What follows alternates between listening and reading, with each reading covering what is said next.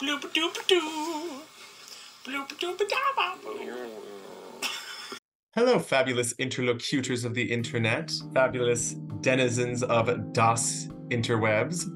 Welcome back to our 90s series and our review of music from 92. Hi, Michael. I'm Molly. I'm Rameen. I'm Erica. One important event that I wanted to talk about first. Dvorak arrived in the US to be the artistic director of the National Conservatory of Music.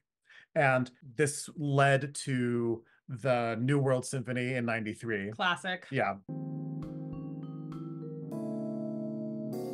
I studied them when I was in school, but um, the only one that I remembered is the very first one of this set, which is the really pretty.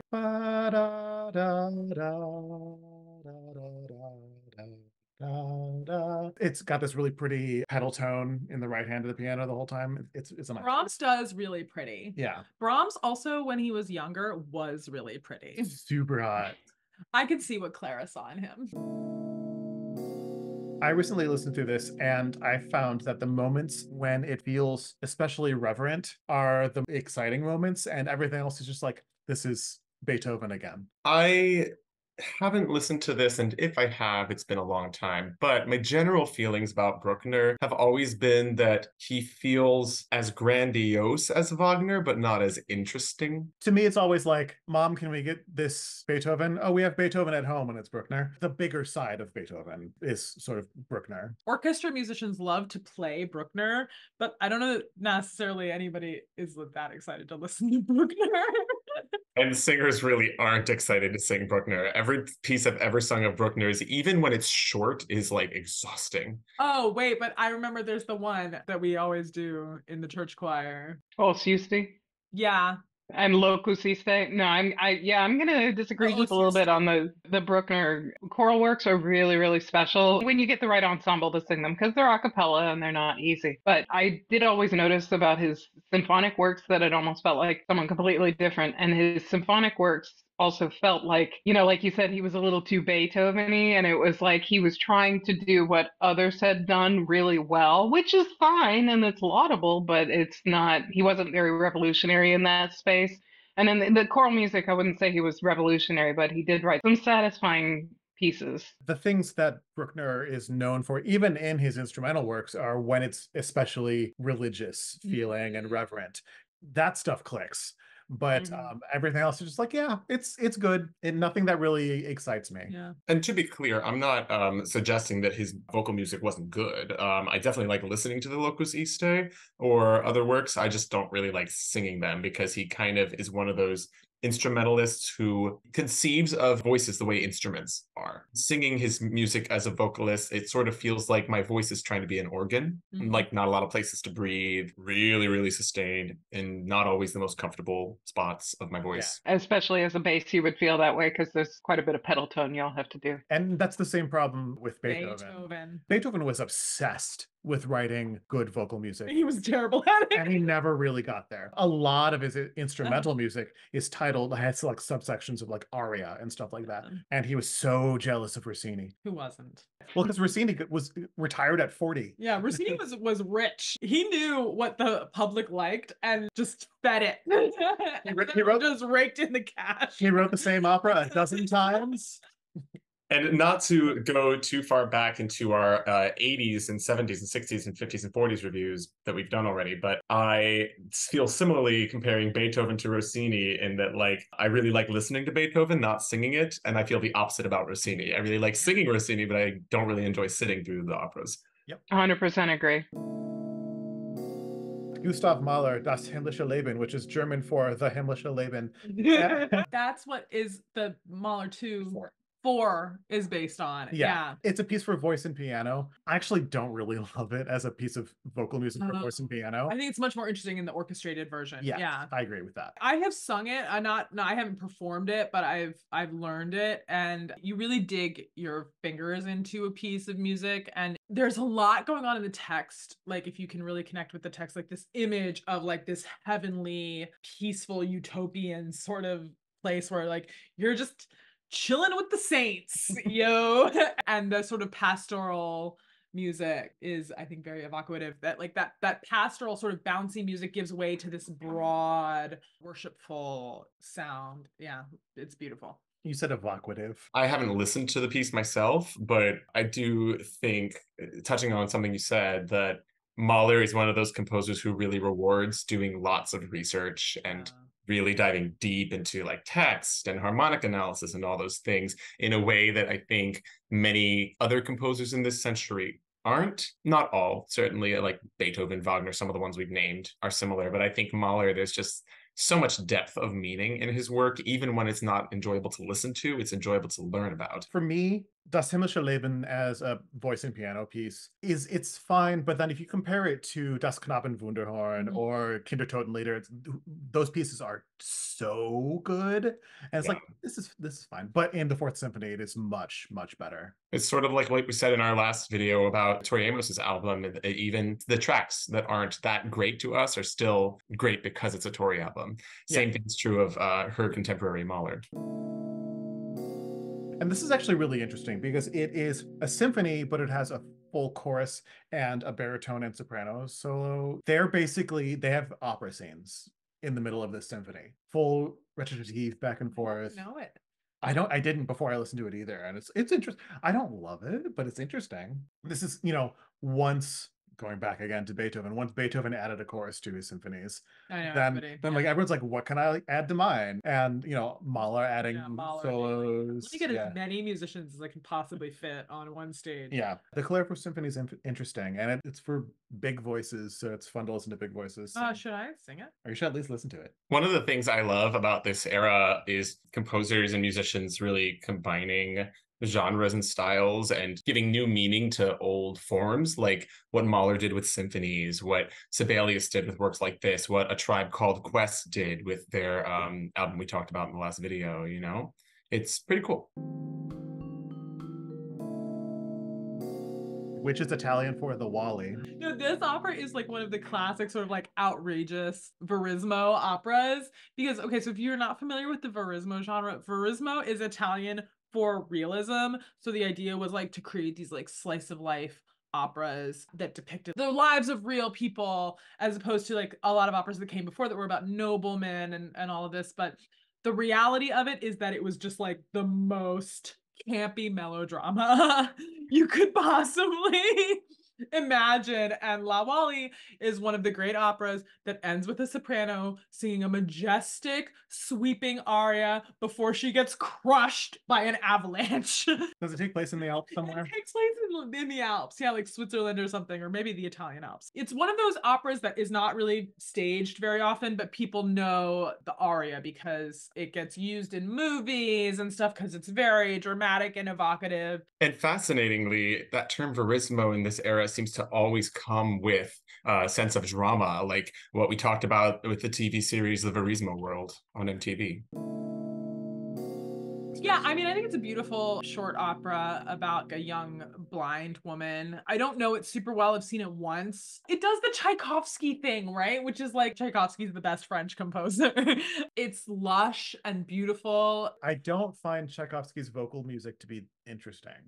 Well, that's the thing. I think that Tchaikovsky uses vocal line in a way that it's like the vocal lines are there to express the text, but it's really the orchestra that does all of the emotional sort of work. I tend to think of Tchaikovsky when I first start to think of him as kind of the Mendelssohn of Russian music, like one of those composers who was looking back more than looking forward. Really, Tchaikovsky is looking west more than he's looking Mhm. back.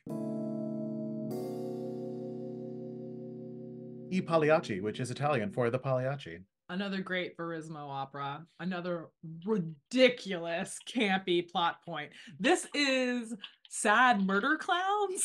if you're watching this and you're not an opera person, um, you know the main aria that is beloved from this opera. It's like the sad clown sort of thing. It, uh, what does he say? He's like, does he say laugh clown laugh or cry Something clown that. cry or whatever? And he sings that before he goes on to murder his wife on stage in front of an audience. I'm pretty sure it's laugh, clown laugh to keep from crying is like he finishes yeah. the sentence as the aria goes on. I do love this opera. There are parts of it I love more than others. Others. But what I love about it is how compact it is. Like it feels like there Yes. isn't a moment that happens that doesn't need to happen. It's one of maybe a handful of operas that I can sit through and stay engaged with evenly the whole show. underrated aria from this opera, uh, uh soprano. La Su, that has that Mm. like little sort The of bird song thing. Yeah, yeah. The well, and also like that almost music box, waltzy kind of thing. Ivan, Ivan, Ivan, Ivan. What's her name? What's the soprano's name? the character you mean? Yeah. Uh Colombina? That's her um that's not her, It's her her character's name. It's it's the character she plays who's Colombina. Yeah, because that's the uh, well, also Pagliacci. Yeah, Yeah, but it's also Pagliacci. So Yeah. they're all named for the um the It's uh, Netta. She's Netta. Netta. Oh, Nedda, that's right. Uh, they're all the commedia characters. Yeah. But we're talking about Pagliacci. It makes you think of also Cavalleria Rusticana, which I actually prefer, and I feel like I'm the only person who prefers that. It's No, I do too. Well, Erica, you have a role in it, And it's a quite epic role, but that's it's for a really another good one. another episode. but I think Mm-hmm. Santuzza is a character who's easier to relate to than Nedda. That's part of why I like Cavalleria more than Pagliacci. I also think that um Cavalleria achieves the goals of Verismo sort of more authentically than some of these campier pieces. Like uh, it feels more like a genuine slice of life than like an absurd melodrama. Whenever we're saying anything is campy, that is never a knock on it. Yeah. Camp is great. Camp is necessary. That's what I love about Verismo, the absurdity of it. It's opera, right? Like you can't take it too seriously, Mhm. right? And I think that's what makes it fun. Yeah. Well, and also camp doesn't have to necessarily mean that it never makes you feel things. When I say things, I mean things besides laughter or whatever. It doesn't have to always be something you're deriding. This makes me think of one of the best theater lessons I ever received when I was in Into the Woods in high school. We were talking about the scene where the baker's wife is crushed by the giant, and the four remaining living main characters are coming together, figuring out what they're going to do. It's this like intense scene. Everyone's really emotionally upset, and the birds show up and talk to Cinderella and fly away, and then Little Red goes, you can talk to birds. the other people in the cast and I were ups- were like talking to the directors, like, why is this really funny line in this really intense scene? And she's like, no, the switch of emotion back and forth makes each emotion stronger. That's what I've always said about Der Rosenkavalier, right? Like the absurd comedy of Der Rosenkavalier makes the sort of heartache at the end feel that much more intense. It's sublime. Yeah. Speaking of heartache, the next opera is full of it. Even though it's not 92, we were just talking about a, an Easter opera, but now we've got a Christmas opera. It's a Christmas opera. Another one with a great mezzo role, Erica.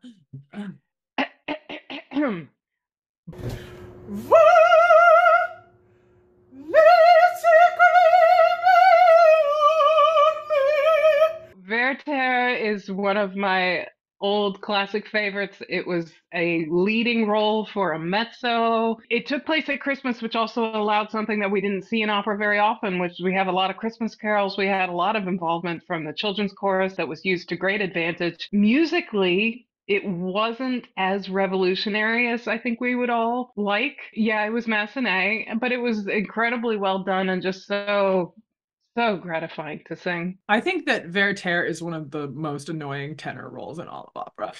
I hate him. I think Massenet's music is universally beautiful. There aren't many moments I can think of in Massenet operas that are unintentionally ugly or unpleasant to listen to. I think his music is often pretty. The main issue I tend to have with his operas is that I feel like the libretti often have a lot of fat in it that can be cut. It feels longer than necessary. But having said that, Werther might have, as a whole, like my favorite operatic music of Massenet's. A lot of the music is just really ravishingly beautiful. I like parts of other things like Manon, but my ear doesn't stay as engaged in other Massenet works that I've heard as it does in this one. You're like totally right about that, and I didn't even think about it. But the reason Werther sort of drags on a bit, for lack of a better phrase, is, is because he didn't cut the fat in a lot of areas of the story. You mentioned the children's chorus, and I think it's a great way to break up some of that text monotony, especially because whenever I've seen it, I love the children's chorus moments. It almost functions ironically in this the way that like ballets in Baroque French operas functioned as like a sort of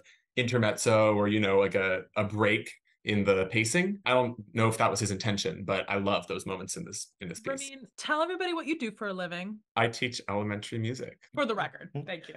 Let All- the record show that Rameen teaches elementary school music. But also, I I do prefer the children's chorus in Werther to the children's chorus in another Christmas time Lava opera. Wham. In children's chorus in Bohème, cut it, please cut it. I actually, I actually like that mm. one better because I think it serves uh, the scene setting better than the one in Werther. I think. No, that one's obnoxious. It's obnoxious. Even if you're an It is elementary obno- I'm not saying it's not obnoxious, I, but if I was an elementary school music teacher, maybe I would appreciate it more. No, no. I don't remember which composer it was. I think it's Strauss, Richard. Strauss, who said of cutting the fat in an opera. I think it was Rosenkav. Some production that someone had seen of Rosenkav that Strauss himself was not involved in, and someone wrote to Strauss and said this felt interminably long, and it normally doesn't. What was different? And Strauss went then went to see it. It's like they actually cut more from Rosenkav than people usually cut, and that messed up the pacing, which made it feel long. That's fascinating because Rosenkav, when it's done right, it's it's a four hour opera that feels like a two and a half hour opera. Yeah, but most of the best moments of Rosenkav are the slow moments. And if you cut Mm-hmm. all the moments that are not as good, you're and you end up with only slow. Yes, because it goes back to what I was saying earlier about Rosenkav. The absurdity is what makes those more poignant moments feel that much more intense. Yeah. And so if you don't have Baron Ochs chasing Octavian dressed as a woman around the stage, it's not as exciting at the end when the Marschallin gives Octavian over to Sophie. Okay, so now let's go to another Christmas themed thing. Boy, it was a whole Christmas moment. So the Nutcracker is what got me into classical music. Aw. And I was, uh, I don't know, somewhere between seven to 10 years old, something like that, six to 10. My family got me for Christmas one year a cassette of the Nutcracker. And it wasn't even the whole ballet. I'm pretty sure it was just a highlights. Sweet. But the first time they played it in the car for me, like something activated in me and I became obsessed. I demanded that they play it whenever we were in the car together for like two months or something. That probably colors my opinion of it in adulthood, but I do think this is a classic for a reason. I Yes. think Tchaikovsky's music works better for ballet than for opera in general because at least ballet in this era is so much about showing off the dancers that if the music is too unexpected, it can sort of jar you out of the experience of watching the dancers do these amazing feats. I just think his music marries so well to the story. I do also think there is some racism in this piece for sure. Uh, I think there are some problematic cases of exoticism. It's really hard for me to throw the baby out with the bathwater on this one because I love this piece. It's one of the few pieces that I could listen to endlessly and I wouldn't get sick of it. I have this thought all the time, especially with opera, when there's exoticism in opera, which there is a ton, or when there are really horrible misogynist moments in opera. Why don't you just excerpt the parts that are not that and do them in concert instead? We don't need to do the entire opera all the time. We don't need to listen to the entire ballet all the time or watch the entire ballet. Although I guess watching a ballet is a little bit different than listening to it in concert. You can Um, also stage it in a less sort of Yeah. like in a way that doesn't ex- like lead into the exoticism. Yeah. But also talking about the Nutcracker, when we talked about the movie An American Tale of Five Goes West, mm-hmm. I talked about how Dreams to Dream was a foundational song on the kind of compositional vocabulary I use. The Waltz of the Flowers is another one. I love the waltz of that's like one of my favorite moments in the whole Nutcracker. Yeah, but that the neighboring diminished chord that happens, ba ba ba ba ba that second chord is a neighboring diminished. chord. Yeah. It's not tonally functional at all. It's just a pretty sound that's decorating the one chord, and it's it's such a great sound, and that was hugely influential to uh, me. See, this is me as an opera singer. I just love the Waltz of the Flowers because the way it gets so big, like at the end when it starts to like pick up momentum. But actually, my favorite moments of the Nutcracker, because I'm such a fucking hipster, are like the deep cuts. I love the pas de deux, which I think is not in the suite. You know, when it's like bum bum bum pa cymbal crash, bum bum bum bum cymbal crash. I love that. I live for that moment. And and when you see it staged with the choreography, it is so beautiful. Fun fact about the pas de deux, and actually this part I like better than what you just described, although I like that part too. I like all of it. it's the it's the freaking Nutcracker. But um, the opening motif melody line, the Yes. is-. Yeah. he wrote because a friend or something dared him to write a, a me- a seven piece based just on a scale. Yeah. And that's something I love about the pas de deux is even though it's so simple, like it, when you Mhm. when you really boil down the theory of the music, it's really basic, but it's just so well orchestrated and Well, I think that's what Tchaikovsky does really well is he does that really broad you know, I think the word is overused, but sweeping orchestration, like so well. And all my favorite moments of the Nutcracker and uh, from his operas, like Yolanta and Evgeny Onegin, are the moments that do that, where it's just like music washing over you. you know, I love that mm. so much. I'm such a fucking nerd. we also didn't talk about the Sugar Plum Fairy and how Oh, that is why- and that's why we all know what a celesta is. the celesta was like a new instrument, right? The version that Tchaikovsky used was the 1886 version, so it's like six. So it was old. like the new improved celesta. yeah. Does anybody else have a favorite retelling of the Nutcracker story? Like a movie or TV show that took the story and redid it? See, I was going to talk about the Care Bears Nutcracker. But- I've never heard of that. I didn't know it was a thing. It was cheesy, but it was very Care Bears and it was beautifully done. There is a hip hop nutcracker that was done like a year or two ago, I think. And um, I've seen parts of it, I haven't seen the whole thing. I enjoyed the parts I saw. So believe it or not, y'all, April Fools! We got you. About 1892. I can put my head exactly in. Wow, Molly, I don't I don't laugh at your opinions. well, yeah. Thanks so much everyone for watching. Got you. haha, Pumped. Join us for more 1992 stuff coming soon. Thanks for watching, everybody. Give this video a like if you liked it. Give it a pity like if you didn't like it. If you have any comments on music from 1892, leave them in the comments below. I'd love to read them. would genuinely like to read Yeah. people's comments on the music from 1892. Yeah, you're looking the wrong way, Molly. Oh. to this side of Erica is a video that YouTube thinks you might like, so check that out. Up there, you can go to our channel where you'll see that we do commentary and reviews of media, mostly video games and music, but some other stuff occasionally here and there. That's about it. Maintain your groovy selves. Maintain your groovy selves. Yeah.